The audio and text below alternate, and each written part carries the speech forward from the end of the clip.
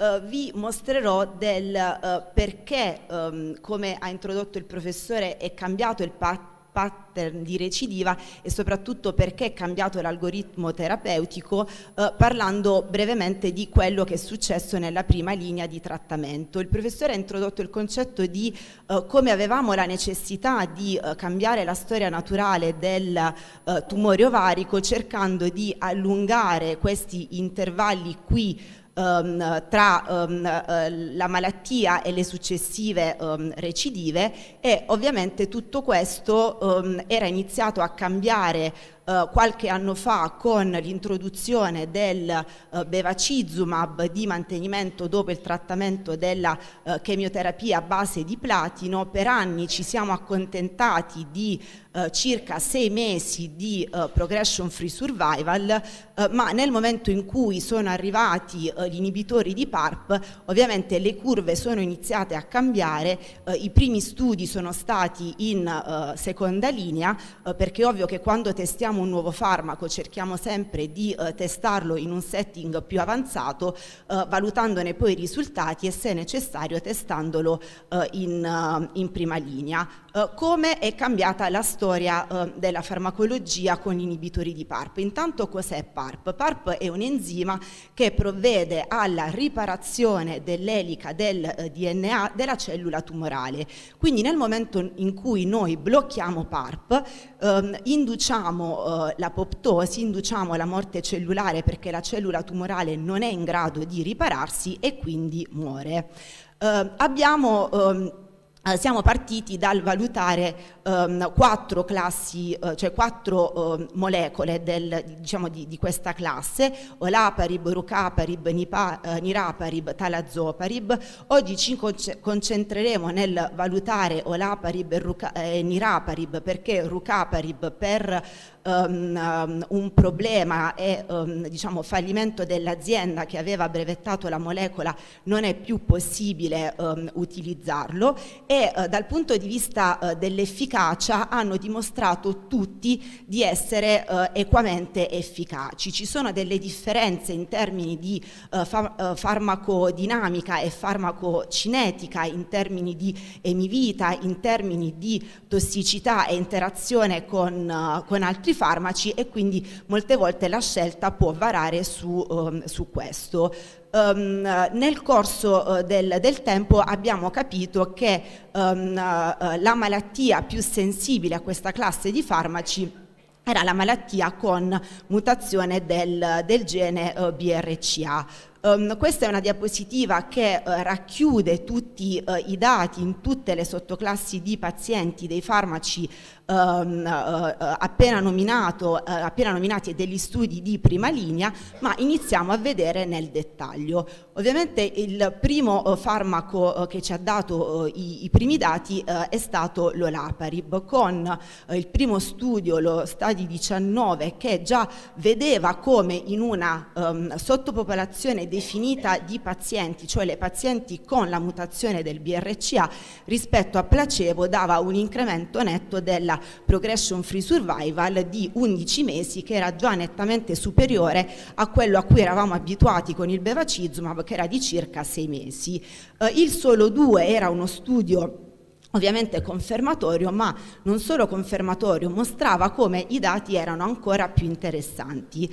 Eh, e um, quindi eh, sono stati poi in seconda linea associati gli altri studi con gli altri inibitori eh, di PARP, vediamo il Nova, l'Ariel che confermavano come um, il farmaco era eh, efficace e negli altri studi vedevamo come non solo la popolazione BRCA mutata ne beneficiava, ma gli studi Nova e Ariel mostravano come anche eh, le pazienti wild type potevano eh, beneficiare e a quel punto sono iniziati gli studi di fase 1. Uh, il solo uno è stato il primo studio che uh, ovviamente ha cambiato la storia di, um, uh, dal punto di vista della terapia. Ehm, nessuno di noi potrà dimenticare la standing ovation alla plenaria dell'ESMO 2018 quando sono eh, state mostrate le curve non solo di PFS ma anche di soprattutto overall survival. lo studio solo uno metteva in evidenza come eh, la terapia di mantenimento con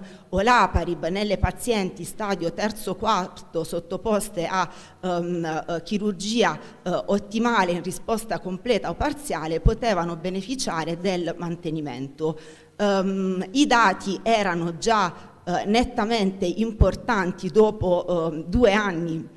di uh, valutazione. Oggi abbiamo un follow up che arriva a sette anni e um, possiamo um, dichiarare che i dati di overall survival ancora non sono uh, disponibili, ma a sette anni abbiamo il 67% delle pazienti trattate con olaparib che sono vive e io credo che potremmo iniziare anche a pensare che una quota di pazienti possa essere eh, definitivamente guarita. Um, dal punto di vista della tollerabilità, diciamo che sono farmaci che hanno mostrato non avere un uh, tratto di uh, discontinuazione uh, importante, sappiamo che sono state registrate tra gli effetti più um, terribili delle sindromi ematologiche acute come leucemia mieloide acuta, però i dati del follow up a 5 anni e a 7 anni mostrano come i tassi sono, cioè le percentuali sono comunque basse e quindi oggi nessuno di noi diciamo, può non pensare di trattare una paziente. Dopo um, aver identificato la mutazione del BRCA, in realtà lo studio della uh, biologia molecolare ha aperto nuovi orizzonti, perché oggi sappiamo che se una parte um, de, uh, della patogenesi è dovuta alla mutazione del BRCA, in realtà abbiamo anche identificato dei uh, deficit a livello del sistema della ricombinazione omologa, che è un sistema che interviene sempre nella riparazione del danno genetico. E lo studio prima, lo studio cioè con niraparib nella terapia di mantenimento di prima linea ha mostrato in realtà come um, l'efficacia, uh, l'efficacia, del trattamento in termini di PFS non era uh, visibile solo nelle pazienti uh, con mutazione del BRCA, ma introduceva il concetto di deficit di ricombilazione omologa e quindi la necessità di testare le pazienti anche da questo punto di vista. Vediamo come qui le curve sono nettamente favorevoli in queste due sottoclassi di pazienti, vediamo come anche nelle pazienti definite così proficient eh, c'è sicuramente un, un, beneficio rispetto al, al, placebo anche se di eh, minore eh, entità. E um, nello studio la valutazione della ricombinazione omologa era um, effettuata tramite uh, il test Myriad My Choice. Oggi è ovvio che si sta cercando, oltre Foundation One, si sta cercando di uh, identificare dei test uh, accademici anche per una questione di semplice e, economia e vediamo come il forest plot del, dello studio prima mostra che la PFS um, era um, um, importante in tutte le uh, sottocategorie de dei pazienti, ma ovviamente quelle con mutazione del BRCA e HRD uh, positive. Uh, un dettaglio uh, non trascurabile inerente a questo studio e ai dati che vi mostrerò dopo è che le pazienti dello studio prima erano comunque pazienti ad alto rischio perché erano pazienti che non avevano ricevuto una chirurgia ottimale, che avevano un residuo di malattia ehm, o addirittura stadio quarto. Eh, rimane comunque il concetto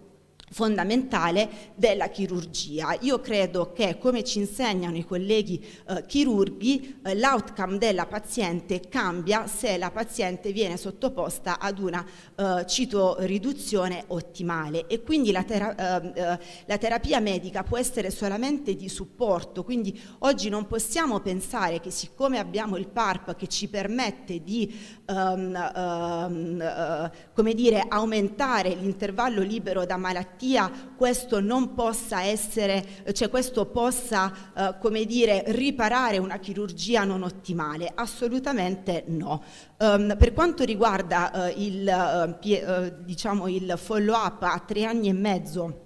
nello studio prima vediamo comunque come il dato di eh, aumentata PFS viene eh, mantenuto, a ehm, tre anni e mezzo abbiamo comunque un dato di PFS di 24 mesi e sinceramente a tutto questo non eravamo abituati. È ovvio che questi studi sia per la differente ehm, categoria dei pazienti arruolati non possono essere comparati l'uno con, con l'altro e per ovviare a, eh, diciamo, alla critica che veniva fatta eh, allo studio prima, cioè di non aver arruolato pazienti con chirurgia ottimale, è stato disegnato dall'altra parte del mondo lo studio Prime che arruolava pazienti stadio terzo quarto sottoposte a citoriduzione ottimale e quindi senza residuo di malattia. A maggior ragione qui il dato viene confermato e quindi conferma anche quello, vediamo qui in basso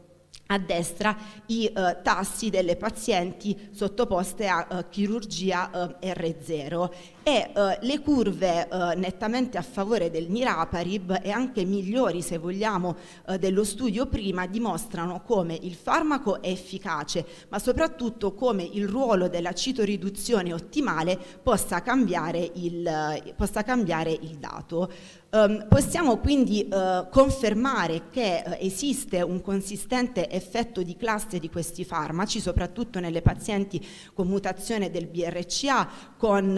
um, uh, deficient del sistema di ricombinazione omologa e comunque un, diciamo, un, minimo effetto anche nelle pazienti proficient. Um, per, come dire, eh, valutare se il bevacizumab che abbiamo usato per anni potesse continuare ad avere un ruolo ed è quello che ancora oggi con i chirurghi continuiamo a, a, crederci, eh, a chiederci, è stato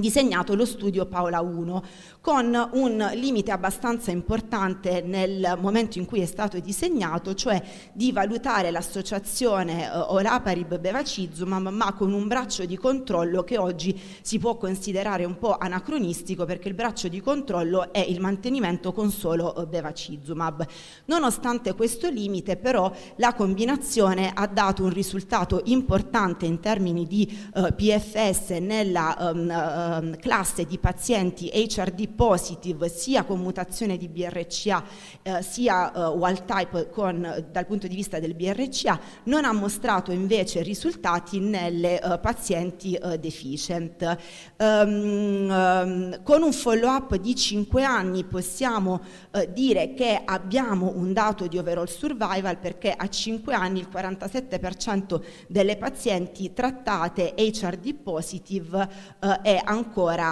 è ancora viva. Dal punto di vista Uh, queste sono sempre curve che mostrano come la combinazione è efficace. Dal punto di vista della uh, tossicità è ovvio che l'interazione tra i due farmaci può determinare uh, qualche effetto tossico in più, ma dal punto di vista delle eh, leucemie e delle sindromi melodisplastiche non si è verificato un, um, un aumento. E um, per capire se quindi il bevacizumab oggi è un farmaco che deve essere completamente abbandonato, abbandonato, nonostante credo che un ruolo possa mantenerlo soprattutto nella, nel trattamento neoadiuvante, perché forse ragionando con i chirurghi quello che sappiamo è che eh, nelle pazienti con tanta malattia eh, peritoneale, malattia ascitogena, in realtà il bevacizumab ci aiuta, però abbiamo visto come sia importante oggi pensare al trattamento del PARP in prima linea. Per questo motivo c'è in corso uno studio che si chiama Nirvana che va valuta l'associazione del niraparib e del bevacizumab con un braccio di controllo che è quello che oggi noi eh, diciamo, utilizziamo che è il niraparib, quindi credo che eh, attendere questi risultati possa essere interessante. Alla luce di tutto quello che vi ho mostrato finora è ovvio che eh, è cambiato l'algoritmo di eh, trattamento e questo è quello che eh, facciamo con eh, Francesco e i colleghi nelle nostre riunioni multi